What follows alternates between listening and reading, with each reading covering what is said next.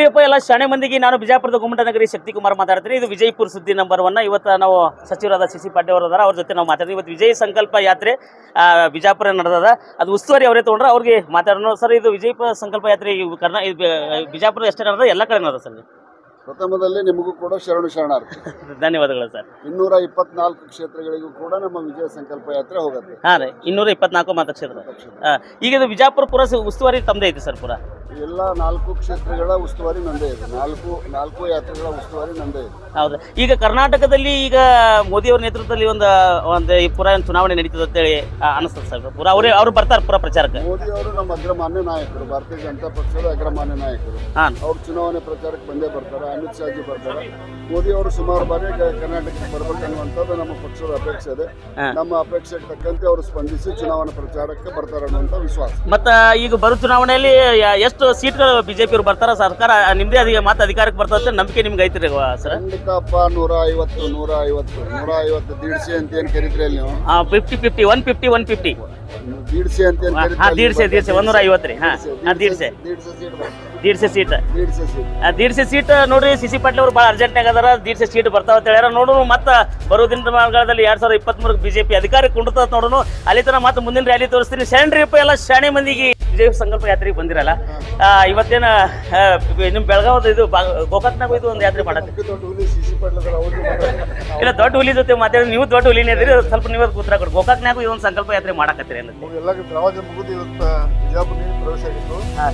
ಗೋಕಾಕ್ ಕಾರ್ಯಕ್ರಮ ವಾಪಸ್ ಬಿಜಾಪುರದಲ್ಲಿ ಪ್ರಾರಂಭ ಮಾಡ್ತೀವಿ. ಅಂದ್ರೆ ಈಗ ಗೋಕಾಕ್ನ್ಯಾಗೂ ಕೂಡ ರಮೇಶ್ ಜಾರಕಿಹೊಳಿ ಅವರು ಬಹಳಷ್ಟು ಪ್ರಭಾವಿ ನಾಯಕರದಾರ. ಈಗ ನಿಮ್ಮ ಅಪೋಸಿಟ್ ಲಕ್ಷ್ಮೀ ಹೆಬ್ಬಾಳ್ಕರ್ ಅವರು ಎಲೆಕ್ಷನ್ ನಿಂದಿರ್ತಾರೆ ಅಂತ ಹೇಳ್ತಾರೆ. ಇದಕ್ಕೆ ತಮ್ಮ ಅಭಿಪ್ರಾಯ ನಮಗೆ ಸ್ವಾಗತ. ಓಕೆ ಧನ್ಯವಾದ ಎಲ್ಲ ಶಾಣೆ ಮಂದಿಗೆ ನಾನು ಬಿಜಾಪುರದ ಗುಮ್ಮಟ ನಗರಿ ಶಕ್ತಿಕುಮಾರ್ ಮಾತಾಡ್ತೀನಿ. ಇದು ವಿಜಯಪುರ ಸುದ್ದಿ ನಂಬರ್ ಒನ್ ಇಲ್ಲಿ ನೀರಾವರಿ ಸಚಿವರು ಗೋವಿಂದ ಕಾರಜೋಳ ಸರ್ ಅದಾರ ಅವ್ರ ಜೊತೆ ನಾವು ಮಾತಾಡೋಣ. ವಿಮಾನ ನಿಲ್ದಾಣ ಯಾವಾಗ ಓಪನಿಂಗ್ ಆಗ್ತದೆ? ಎಲ್ಲ ಮಂದಿ ಬಿಜಾಪುರದ ಹೋಗುದು ಯಾವಾಗ ಟೈಮ್ ಬರ್ತದ? ಅಂತ ಹೇಳಿ ಕೇಳೋಣ. ಸಾಹೇಬ್ರ ವಿಮಾನ ನಿಲ್ದಾಣ ಯಾವಾಗ ಇದು ಪೂರ ಓಪನಿಂಗ್ ಆಗ್ತದೆ. ಉದ್ಘಾಟನೆ ಆದಷ್ಟು ಬೇಗನೆ. ಹಾ ರೀ. ಇದೇ ತಿಂಗಳಲ್ಲಿ ಮಾಡೋ ಆಲೋಚನೆ ಇದೆ. ಹಾ ವಿಮಾನಗಳ ಹಾರಾಟ ಮಾಡಲಿಕ್ಕೆ ಸ್ವಲ್ಪ ಸಮಯ ಹಿಡಿತದೆ. ಯಾಕಂದ್ರೆ ವಿಮಾನ ಕಂಪನಿಗಳೇನಿದ್ದಾವೆ ಇಂಡಿಗೋ ಇರ್ಬೋದು ಇಂಡಿಯನ್ ಏರ್ಲೈನ್ಸ್ ಇರ್ಬೋದು ಮತ್ತು ಬೇರೆ ಬೇರೆ ಕಂಪನಿಗಳಿದ್ದಾವೆ ವಿಸ್ತಾರ ಇರ್ಬೋದು. ಅವರೆಲ್ಲ ಕೇಂದ್ರ ಸರ್ಕಾರದ ಜೋಡಿ ಒಪ್ಪಂದ ಮಾಡಿಕೊಂಡು ಆಮೇಲೆ ಹಾರಿಸ್ಬೇಕಾಗ್ತದೆ. ವಿಮಾನ ಹಾರಿಸ್ಲಿಕ್ಕೆ ಒಂದ್ ಎರಡು ತಿಂಗಳು ತಡ ಆಗ್ಬೋದು ಆದ್ರೆ ಉದ್ಘಾಟನೆಗೆ ರೆಡಿ ಅದು.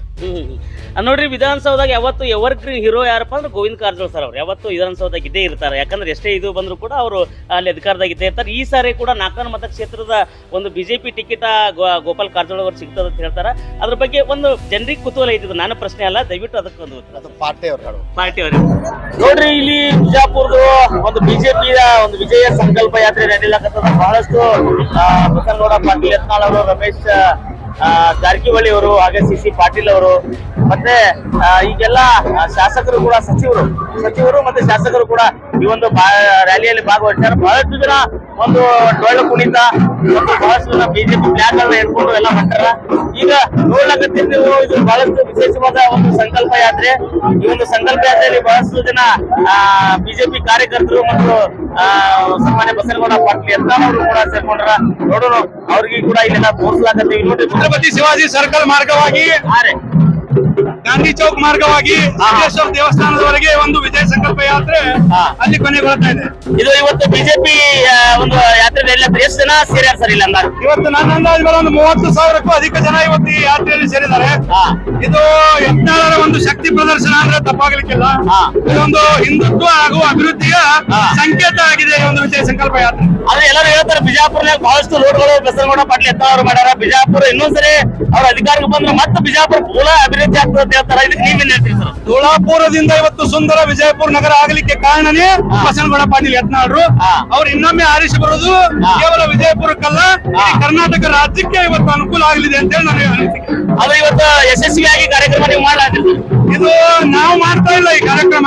ವಿಜಯಪುರ ಜನತೆ ಇವತ್ತು ಅಭಿವೃದ್ಧಿಯನ್ನು ಮೆಚ್ಚಿ ಮಾಡ್ತಾ ಇದ್ರು ಓಕೆ ಧನ್ಯವಾದಗಳು. ರಾಘ ಕೂಡ ಧನ್ಯವಾದ.